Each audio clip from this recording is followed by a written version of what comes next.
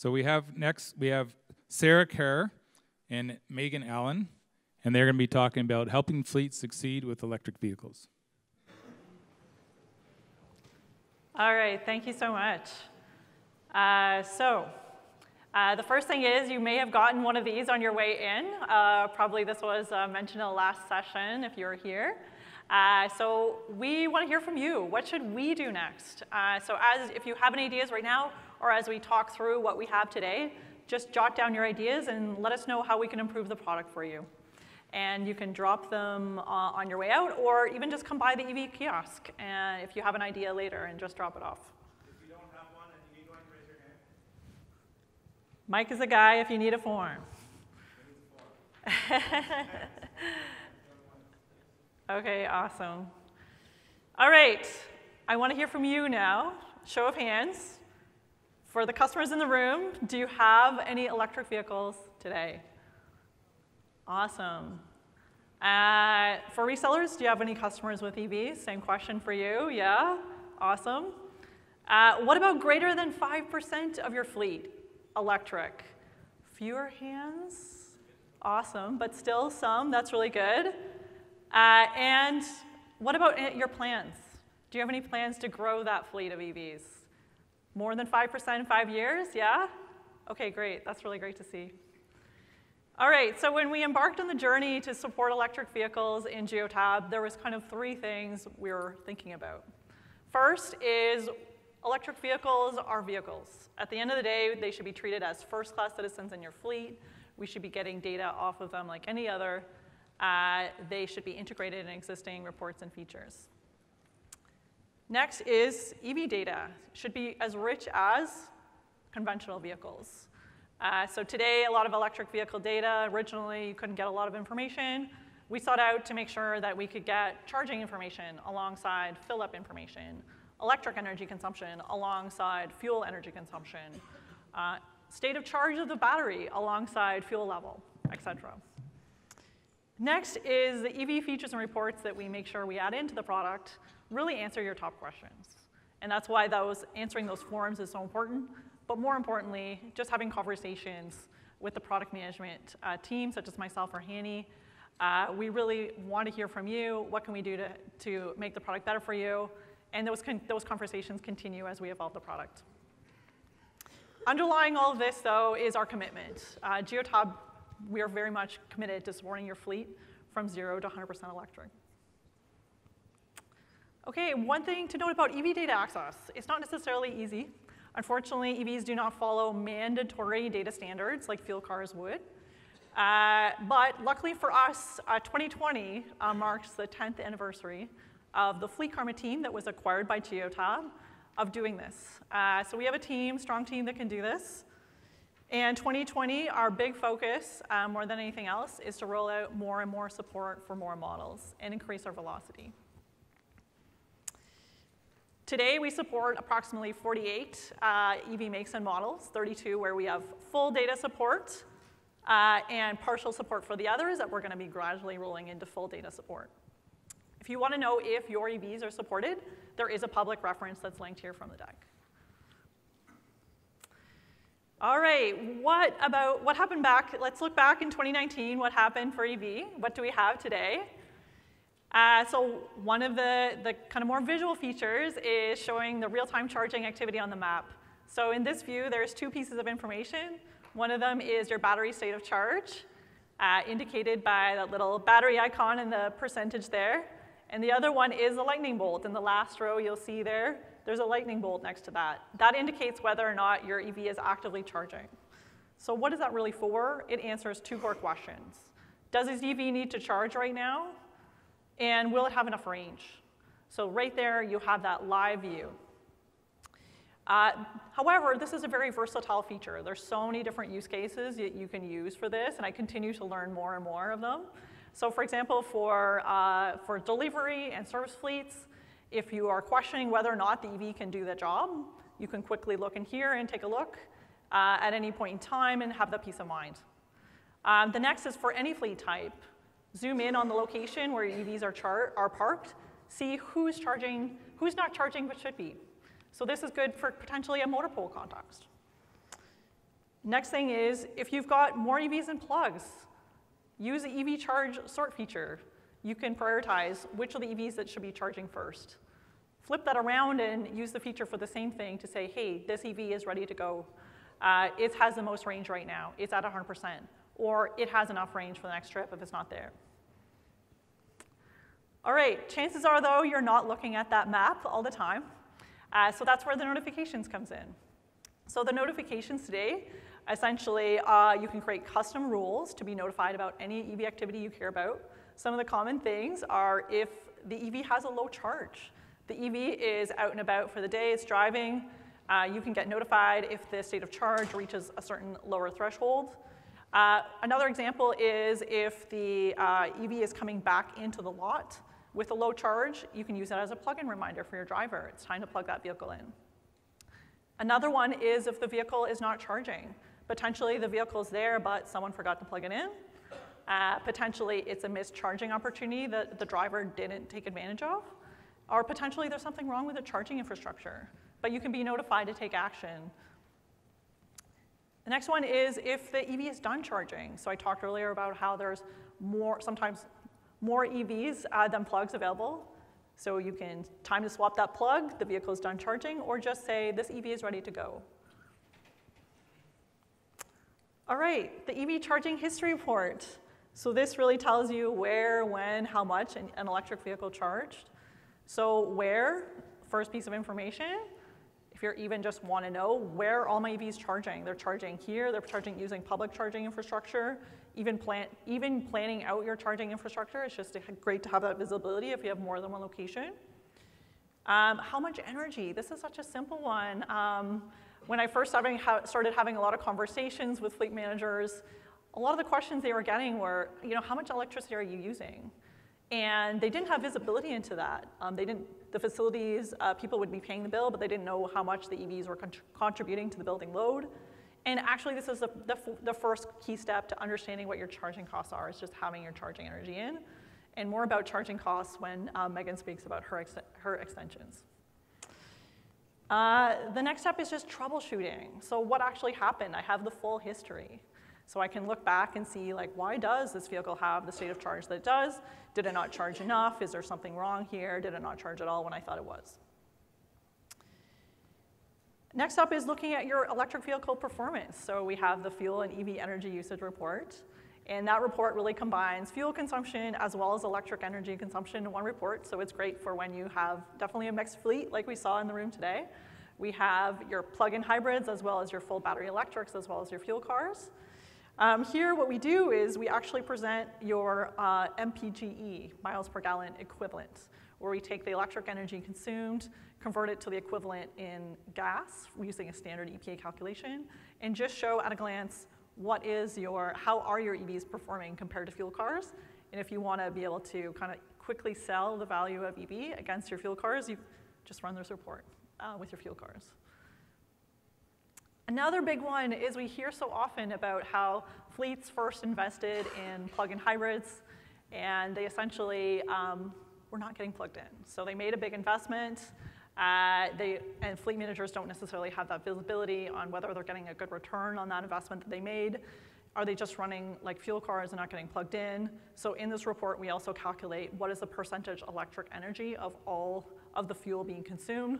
If it's low, it's a red flag for your, plug, your PHEV. If it's higher, you're probably good to go. Next, I'm going to introduce my colleague Megan, who is going to talk about all the valuable extensions that her team has done with the EV data.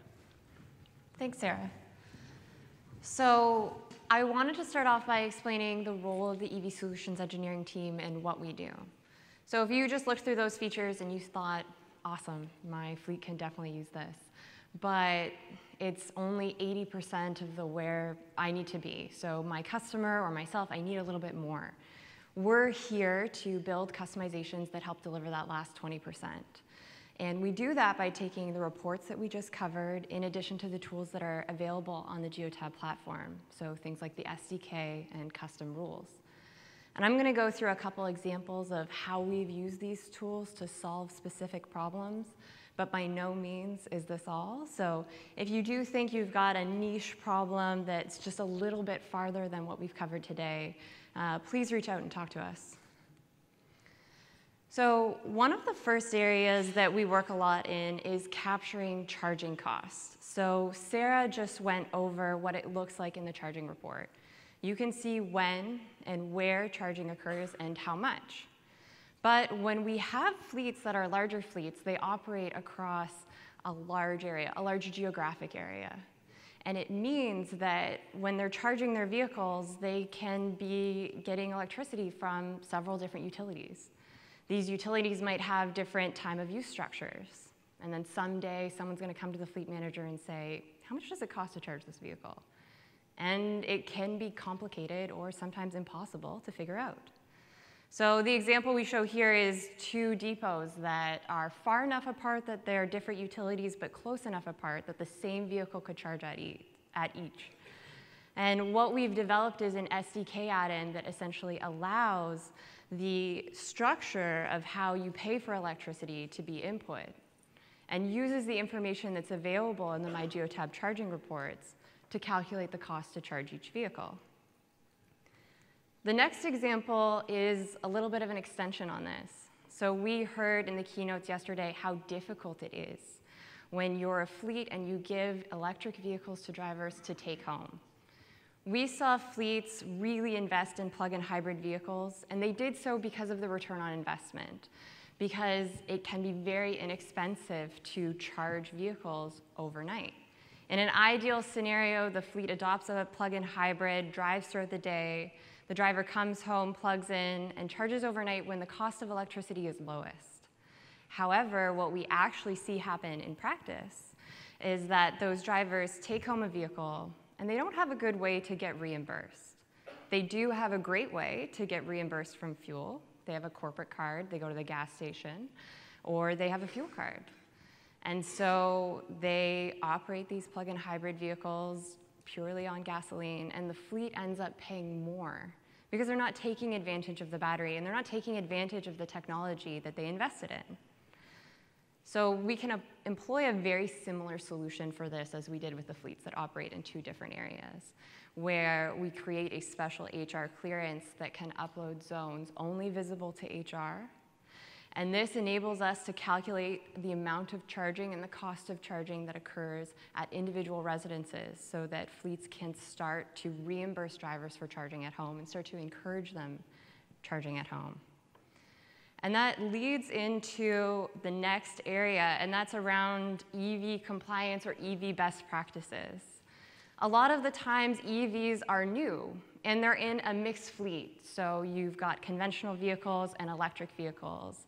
And there's a lot of learning that has to happen before EV adoption becomes habit, before it becomes totally known.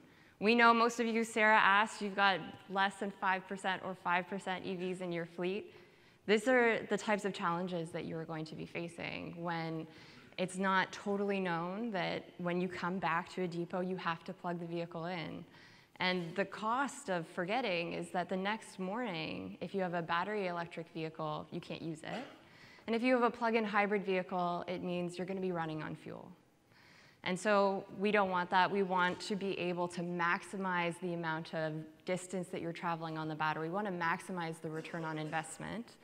And so alerts, like Sarah alluded to, using the real-time state of charge and putting a pretty simple rule in place to say, let's say we put a zone around a specific depot, and the vehicle enters the zone, it has a state of charge of less than 90%, and it doesn't start charging in 10 minutes, send a notification to the driver, or send a text message to the supervisor who happens to be managing that depot.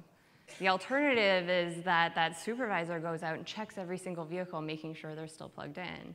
We want to make the transition to electric vehicles simple and easy.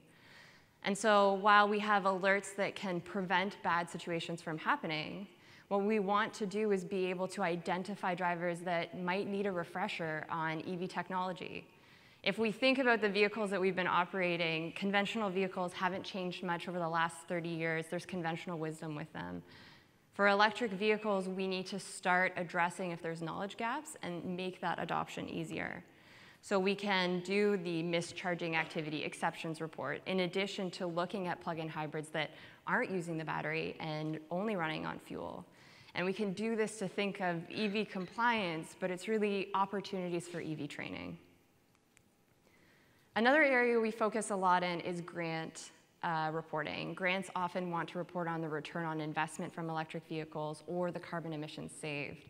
So fleets take advantage of grants available in their area, but in order to do so, they have to report many different items in very specific ways.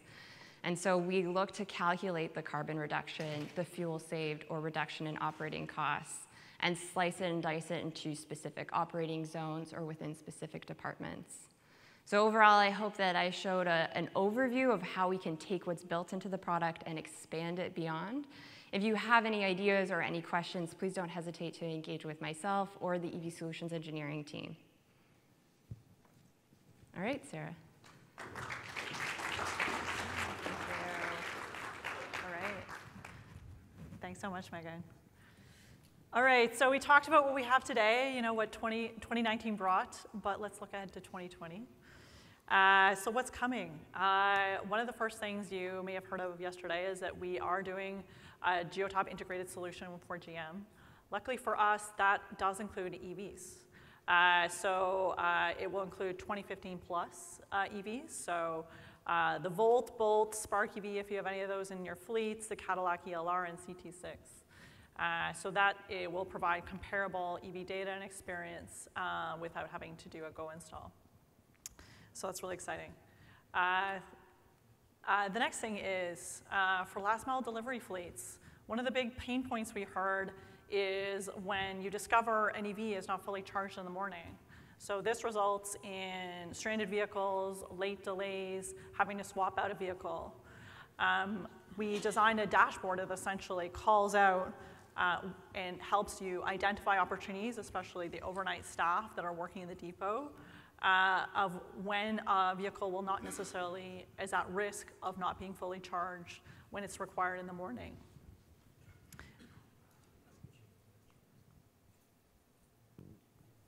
Okay, so some of the ideas we're toying with. Uh, so may is in, in, italics, but may be coming, uh, because these are just ideas that we're experimenting with today. And we're getting feedback, and I'm keen to hear what you guys think about this. Uh, so the first one is EV range. So EV range, typically, historically, we present it as that state of charge percentage. Uh, however, uh, that's, that's not something that translates well for people, especially as you adopt electric vehicles with different battery sizes. That 34% at the top could mean very different things, uh, depending on your battery size, in terms of can it actually go the distance. Uh, so there's a couple different aspects to this. One of them is right now, what is the remaining range on this vehicle? Uh, and it could, be a, a, it could be a variation because there could be a min and max. And generally, historically, what is it on a full charge? And having a better idea about what is the distance that this vehicle can, can do looking at the real world conditions in my fleet. So that's one idea. We're getting feedback on it. Uh, the next one is battery health.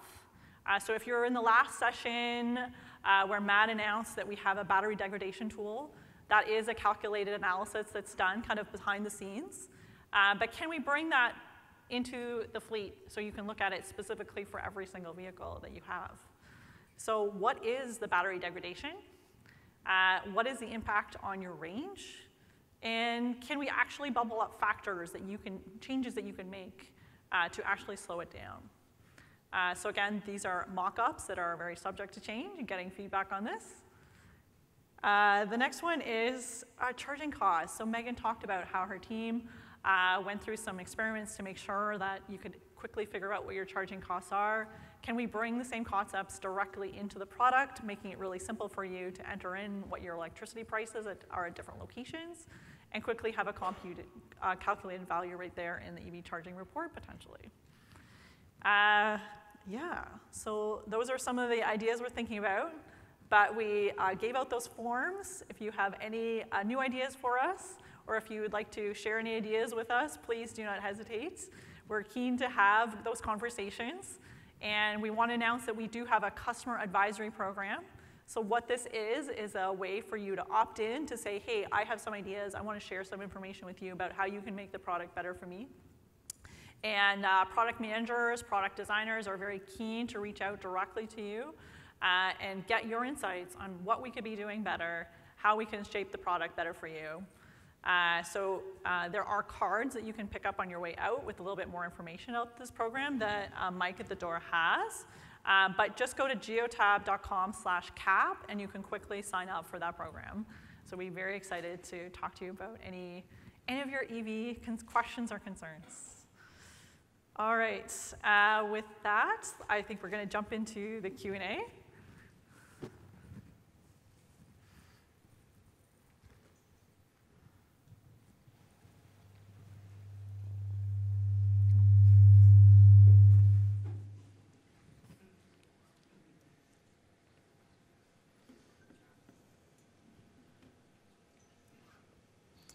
All right. Okay, I got this right. All right, so we have one question for so far, that's great. So can Geotab provide the customer with predictive information such as the EV battery is showing characteristics that will fail in the next week? Okay, that's great. So that touches a little bit on EV uh, battery health, so we did talk about that. Uh, so that is one idea that we're toying with on whether or not uh, the degradation has gotten so bad that it no longer meets your range needs. Uh, so that is a concept we're, we're playing with as potentially something in the future. Yeah. Any other questions? Yep, there's one over here. Chuck's got the microphone. Maybe one of us could turn the mic off. I feel like we stand far enough apart. As you know, you have a lot of different manufacturers, and from our side in Latin America, they are investing in EVs, but from China, Mm-hmm. from generics brands. So they don't have any standard, but they have a lot of information. For example, one thing that is very important is the, uh, the proof points of the cell. The, sorry, the proof points The, of, the proof points of the battery, they are built in a lot of cells, and each one of them has voltage, temperature, and the, way that they are charging in the process. So they present a lot of fault codes based on the proof points, and that is very important for the diagnostics and support of each EV. Mm-hmm. How we can get that standard information, or you have any standard to how to integrate that data using OBD because by now we are doing a data link converting the data of each manufacturer from China and converting that, that information into something that Geotab has to understand or can understand. But from the side of fault codes, we have a huge question related with that. Temperature, each cell, proof points, and performance. yeah, that, that's a really good question, and I'd love to talk to you more about that. I think uh, right now the, the fault codes, uh, for me, I would just like to hear the ones that, that you're really interested in, so it's good just to hear what your list is. Uh, but yeah, today we, Geotab is really good at getting the fault codes that are come through the standard OBD2 standard. And it's definitely an area where we'd like to be able to improve the product to make sure we're getting the fault codes from EVs that you're really interested in. So if you have any ideas there, please write them down. Please join the customer advisory program. We want to talk, yeah, okay. we want to talk to you about that, uh, absolutely. But one thing I'd also like to add is that it's important to keep in mind with EVs, almost nothing has been standard. And so when we're working to figure things out, it's important for us to be able to utilize everything available to us to get the right information in. Right? That's been all of our engineering experience. And also it's important for us to have great communication and dialogue, especially with some of the newer OEMs that are making electric vehicles in order to make sure that the information is in a way that can be used for all customers, all partners. Mm-hmm. Do we have any more questions? Oh, yeah, there's one over there.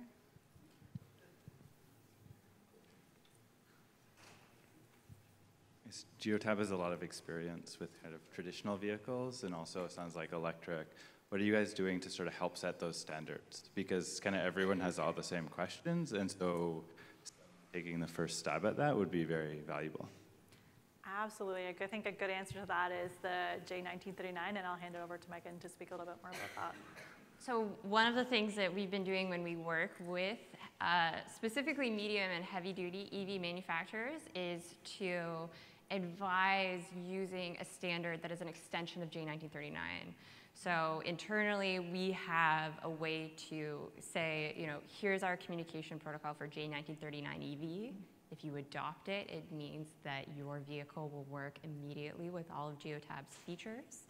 Uh, that fleets that are using your vehicles will be able to see the same information that we can see here, charging reports, trip reports, real-time state of charge. Uh, so you don't essentially have the problem of apples to oranges. Yeah. You need You need that. Oh, okay. Uh, Megan's team's been working very uh, strongly with uh, OEMs directly to support that standard, and that's good for everybody in the industry. Um, obviously, Geotab uh, can benefit, but any telematics provider can benefit from that. So in cases where um, we're warning about charge problems, we're, um, you know, having maps that show uh, things that could be problems, um, how much do you foresee a need to standardize and move towards, you know, from one dashboard, the manager can start charging, they can stop charging, they can actually, in the case of vehicle to grid, they can start the bidirectional or change the bidirectional. Is that a future that you're interested in or see coming?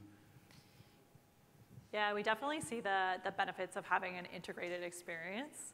And I would say that the first conversations now are what's the benefit of, a, of an integration with uh, just char charging station operators. We're very interested to have those conversations. Uh, the, I mentioned the EV charging report, for example. Uh, if you have a networked charging infrastructure, you have all that data already there, um, which is great. Uh, the EV charging report will fill the gaps when your vehicle charges outside of that network. Um, but just having, looking at different integrations, what the potential is. Geotab is a very extensible platform. We're very open to having those partner integrations. And so we're keen to have the conversations. And, you know, we want to hear from you. Like, do you want to have that single dashboard? What can we do for you? So. Again, we work with a lot of customers who do last mile distribution. Mm-hmm. So as you know, you know, in, in EVs, depends a lot of how many times do you start and stop the vehicle, brakings, accelerations, the way that you do that, the traffic, the average speed. So, for example, in Latin America, you have country, you have cities where in some time frames the average speed can be around eight kilometers per hour, really low. So you have to be stopping and starting the vehicle. And in other time frames, you have to, you can go up to 20 to 25 kilometers per hour inside the city. For example, Bogota or Lima behave like that. Mm-hmm. So when you are showing in Geotab the expected amount of kilometers that are mm-hmm. capable of doing with that uh, amount of charge, mm-hmm. how you are calculating that? Because we have to put that into the routing tool and predict if the vehicle is capable to, of doing that depending on the time frame and the average speed of each street based on that. Mm-hmm. Yeah, so that's something we're just embarking on now, but we'd want to look at the factors that are contributing to that today. Today, what we do have is the electric energy consumed for your typical trips. So you can look at that vehicle, even just look at the last few weeks, see what is the electric energy consumed that you needed to complete the trips that you described, no matter what the, you know, terrain differences, speed differences, and although it takes already into consideration all those factors, you already have a little bit of a rule of thumb of what, you know, what's your typical range you can get just based on the data we have today. Um, but we would want to take a look at that data and look at what, what's the most accurate value. And different solution ideas, right, are can our big data team have an accurate value? How accurate can that be? And we'd want to do some testing on that. Can we potentially partner with another, you know, integrate in, integration system that already does that prediction for us? And that would be awesome too. Um, can we get the dash value, right? So a lot of EVs do have the, the value of the remaining range on the dash. Can we get that? Uh, in some cases we can, in some cases we may not be able to get it reliably. Um, so there's a, a number of different uh, solution directions we can go there, but I, I'm glad you're, you're raising the fact that there are obviously a lot of factors that, that factor into that range that you can get. And I would say for today, to expand upon Sarah's point about what we already have built in, even if you think about the types of routes that you're doing today that have a lot of start and stop and slow speeds, which is really where EVs shine. They do mm-hmm. really well in those conditions. Can we look at those routes and say, you know, do a comparison of the efficiency if you have similar vehicles that are deployed in different places? And then we can start to take into account other factors you know, what was the weather that day and that type of thing. And even just to create uh, a more comfortable or empirical rule of thumb while we are determining the best r- way to roll out range into the product. Okay, great. Um, unless there's any more questions, we're going to break till 11:30, which is our next session. So if anybody wants to go for a coffee or something, and come back. It'd be great.